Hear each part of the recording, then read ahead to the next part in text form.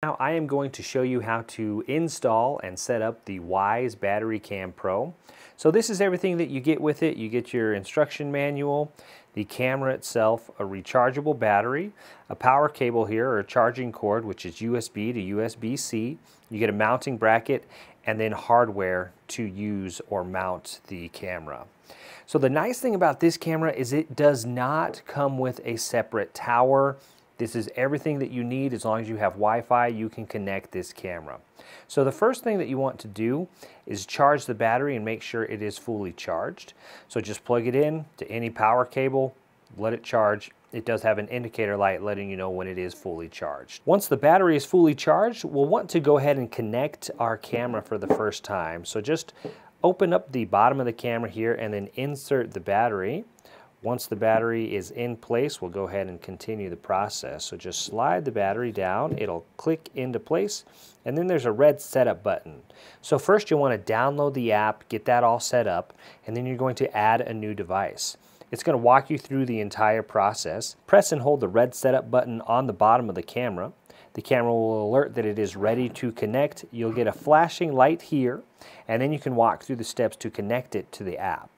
One other thing of note is that you'll notice that there's an SD card slot.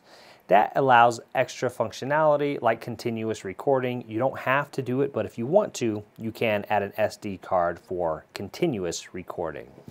So the camera's all connected. You're gonna see a solid red light here. Now it's all connected, you can go mount it wherever you want. In this case, I'm going to be mounting this on my front porch. For the mounting portion, I'm just going to need these screws and then I will use the mounting bracket. This simply unscrews from the back of the bracket and then you would just mount this to the wall and then you screw this on and then the camera screws onto this here.